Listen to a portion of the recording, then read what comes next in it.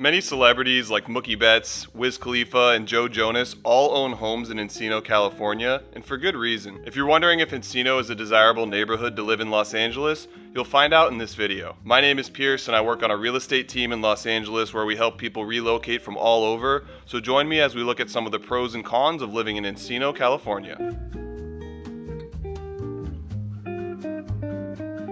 Encino is located in the southern San Fernando Valley on the northern slopes of the Santa Monica Mountains. My dad was actually raised in Encino. He grew up there and went to high school there. My grandparents had a house there for most of their lives.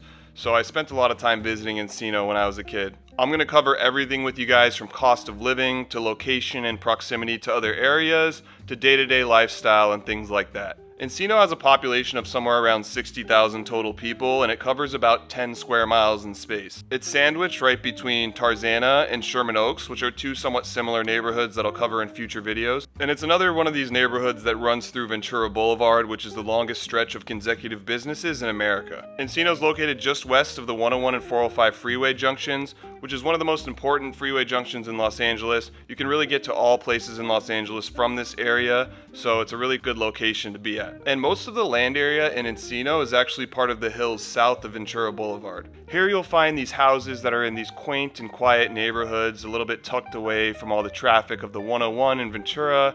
You know, it almost feels like you're living in somewhere completely suburban when you're in this area. The neighborhoods are filled with all these beautiful trees, and the landscapes typically are very well kept. And I also find the houses to be very unique with great curb appeal. You'll see a lot of nice styles of homes like modern farmhouse style. And if you drive north of Encino, you'll run into neighborhoods like Reseda, Van Nuys, and Lake Balboa. But yeah, Encino is one of those locations where it doesn't really matter which corner of Los Angeles you might need to do things in.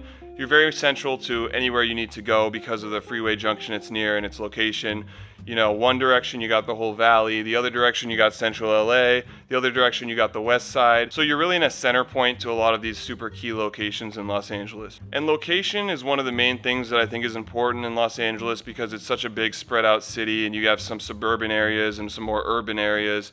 So when you get a location that's the good mix between the urban and the suburban, I feel like that's when you're getting the best of both worlds without sacrificing too many of the perks of having, you know, just solely suburban living or just solely urban living. So with that being said, I'm going to say Encino's location is a big pro to living in the area. Now let's go over cost of living. We're only going to call this a con because it's expensive, but in reality, of course, it's going to cost a little bit more to live in one of the most desirable neighborhoods in Los Angeles. The median income in Encino is somewhere around $100,000. But if you do look at a map of the subsections of Encino and see how the median income breaks down, you're gonna see when you go south up into the hills in those really nice neighborhoods, you're gonna get closer to $180,000 median income. And then when you get lower towards the flats on the northern end of Encino, you're gonna see median incomes go as low as $50,000. So there's actually a pretty wide income range in Encino, and there's some less expensive areas to live in and some more expensive areas to live in, just like any neighborhood, but it really does fluctuate a lot in Encino. Encino is made up of slightly more homeowners than renters, but it's almost split down the middle 50-50. When you look at at the homes built there, you can see about half of them were built before the 1970s, whereas about half of them were built afterwards.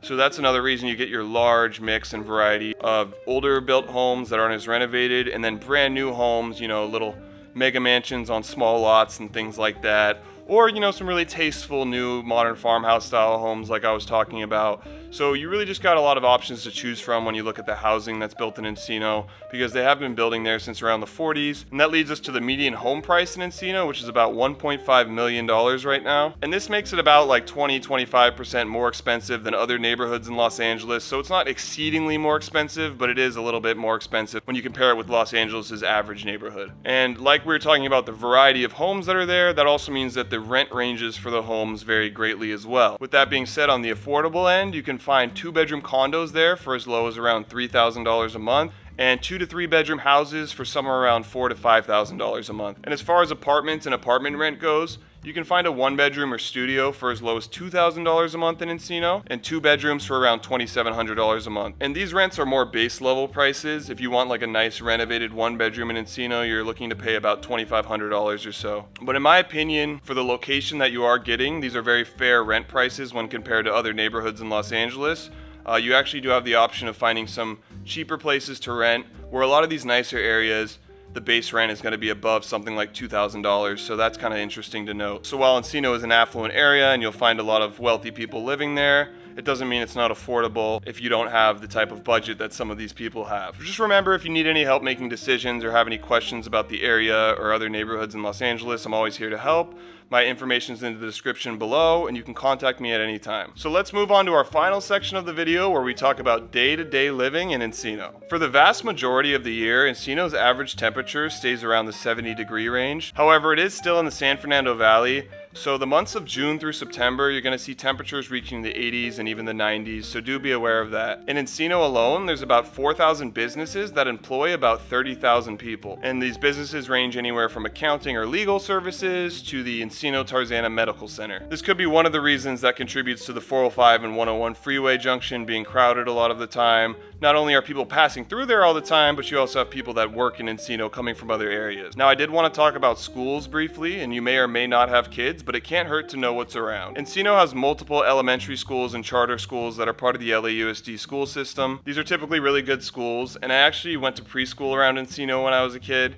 And uh, you know, back when when I was in preschool, we still had the long swings. That was a good time, man. We had those super long swings that you could break your neck on but I never died, so I'm glad I had them. Now, some of you might actually consider this a good thing. There's actually no public high schools in Encino, so you're not going to have high school kids loitering around. In the flip side, there are many private schools in Encino, such as Crespi High School that a lot of my friends went to and my dad went to. Encino is also home to a 5-acre California state park called Los Encinos Historic Park, as well as the Sepulveda Dam Recreation Center. In addition to these, Encino has its own golf course, as well as the Balboa Sports Complex. This complex has a baseball diamond, basketball courts, soccer field, a kids play area, an indoor gym, tennis courts, you name it. And most importantly, they have a six and a half acre off-leash dog park in Encino with about 100 free parking spots. And lastly, don't forget the Sepulveda Garden Center. It's a community garden with about 16 acres and 420 separate garden plots. So you can obviously see Encino has tons of parks and recreation areas,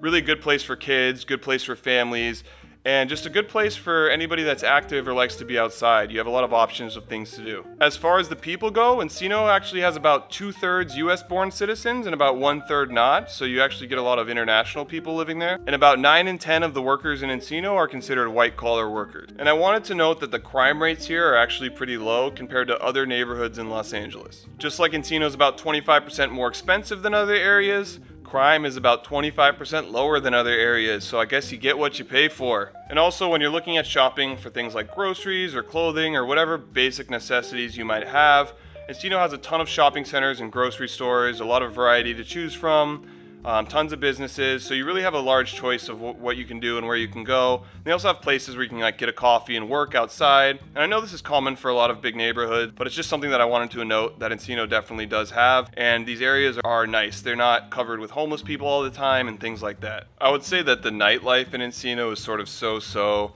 If you want to get to better places to go out at night, go to some bars, things like that, you're going to want to drive down Ventura closer to Studio City or, you know, maybe go over the hill or something. But that's one of the cons, I guess you could say, Encino has.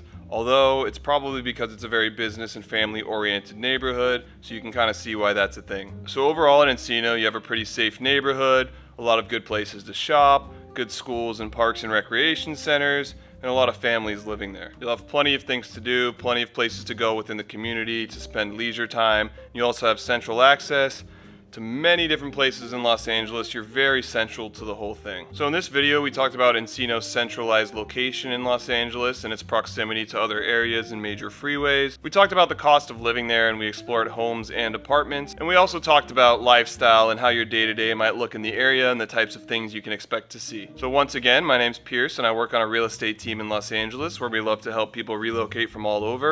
If you want to contact me or you have any questions, all of my information is in the description below. Hopefully this video gave you some valuable information about living in Encino. If you do want more information like this about many neighborhoods in Los Angeles, I post weekly videos, so make sure to subscribe. Thank you so much for watching.